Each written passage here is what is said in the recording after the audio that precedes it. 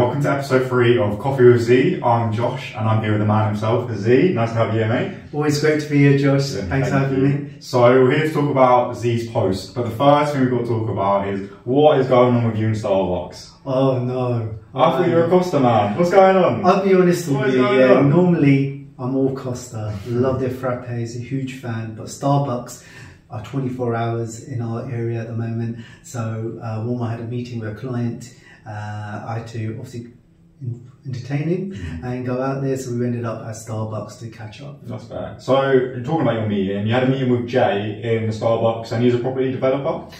Yeah, definitely. Uh, he's a property developer and a property investor. Oh, okay. So he's doing a development at the moment. He wanted to have a chat about Mm-hmm. uh, and the implications from a tax perspective and a business perspective around that, and also how it affects his potential property investments as well. Okay, fair. So, why do you feel like having them relationships and having relationships outside of your own company is important?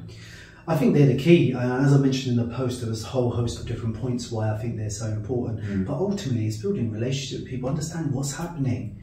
Uh, when you meet people face to face, there's always a little smile.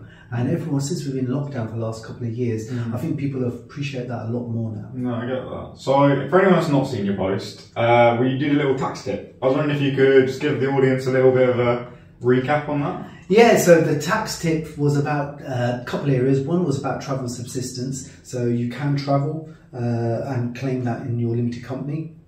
Uh, and it's £15 per day generally and £25 overnight. There is certain rules. Um, what you've got to be careful is if you buy the person uh, who you're having a, uh, the meeting with and they're not a employee, they're a client, then unfortunately it's called client entertainment. You can put it through the company, but it's not tax deductible. Okay, so what's the difference with sole traders? Why is that different? This is why I like Josh. He's learning every day. Yeah, he's, getting, he's getting his tax knowledge. Um, the sole trader's got different rule. H- HMRC are a bit harsh on those. Um, basically, you have to stay overnight uh, in order to claim the 25 quid. Okay. Uh, and they don't really, client entertainment isn't really counted because obviously when you're a sole trader, the tax rules are different. Okay, that's interesting. Right, unfortunately, Zee, that's all we've got time for. But we'll be back for episode four soon. As always, thank you, Zee, for coming. Always great to be here, guys.